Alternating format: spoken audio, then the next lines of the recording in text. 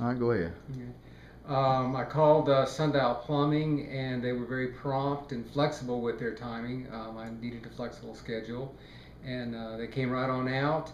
Um, I had a problem with my pressure in my house and he diagnosed that uh, right away, uh, but also uh, brought to my attention other things that that might have caused problems for.